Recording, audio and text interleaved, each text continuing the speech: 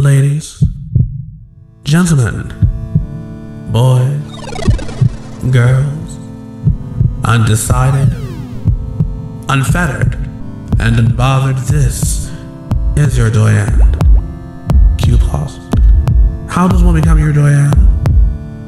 You have to have the courage, the cunning, and the cunt. You have to change. That was my initial. World you see doesn't know you shit. And the sooner you realize, the sooner you find yourself. That, that is Machina. And I thank you.